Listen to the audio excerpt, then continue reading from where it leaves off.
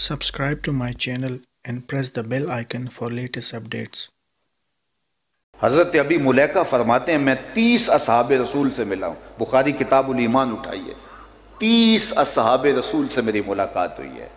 اور کہتے ہیں، میں نے ہر ایک کو اپنی آخرت کے بارے میں، اپنے خاتمے کے بارے میں ڈاڈا فکر مند پایا ہے۔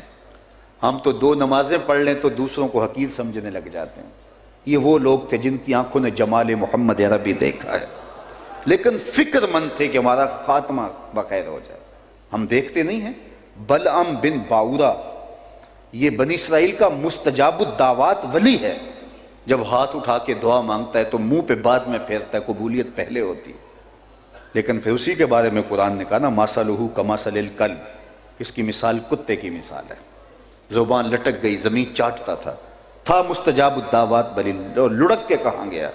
اسی لیے میاں صاحب بولے پڑھنے اتے مان کرینا تے نہ آکھی میں پڑھیا پڑھنے اتے مان کرینا نہ آکھی میں پڑھیا او جبار کہار صداوے متا روڑ دے وے دودھ کڑیا۔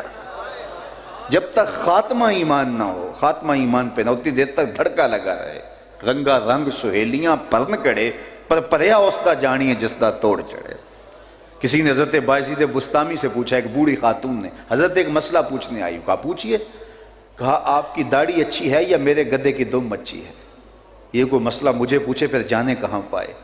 لیکن باعزید بستامی رو پڑے، کہا، بڑھیا، تیرے سوال کا جواب فی الحال میرے پاس نہیں ہے۔ یہ تو مرنے کے بعد ہی بتا سکتا ہوں۔ خاتمہ خیر سے ہو گیا، تو پھر ہی کچھ کہہ سکتا ہوں۔ خیر، حضرت باعزید بستامی کا بہتر سال کی عمر میں انتقال ہو گیا۔ تو بڑھیا کو خواب میں ملے۔ اس نے کہا کہ میرا سوال وہیں کھڑا ہے، مجھے بتائیے، میرے گدے کی دم اچھی ہے یا آپ کی داڑھی اچھی ہے؟ تو کہا، اللہ کا شکر ہے، میرا خاتمہ ایمان پہ ہو گیا۔ اب تیرے گدے کی دم کو میری داڑھی سے کیا نسبت ہو سکتی ہے؟ تو اس نے کہا کہ بتائیے، آپ کے رب نے آپ کے ساتھ سلوک کیا کیا؟ تو حضرت باعزید ابستامی کہتے ہیں کہ جب میں مالک کے روبرو حاضر ہوا تو میرے مالک نے مجھے پوچھا، اے بوڑھے بتا میرے پاس کیا لے کر آئے ہو؟ بہتر سال کی عمر میں انتقال ہوا تھا۔ اے بوڑھے، بتا میرے پاس کیا لے کر آئے ہو؟ تو میں نے جواب نرز کی، مالک، بادشاہوں کی چوکھٹ پہ فقیر آئیں۔ تو شہنشاہ فقیروں کو یہ تو نہیں پوچھتے کیا لے کر آئے ہو؟ فقیروں کو تو بادشاہ یہی پوچھتے ہیں کیا لینے آئے ہو؟ میں لے کر کچھ نہیں آیا، تیری رحمت کا سوال ہی بن کے آیا۔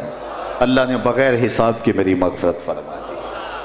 تو کہا، میں مغفرت تو غفران کے پردوں میں ڈھانپ لیا گیا ہوں۔ اب تیری تیرے گدے کی دم کو میری داڑھی سے کیا نسبت ہو سکتی؟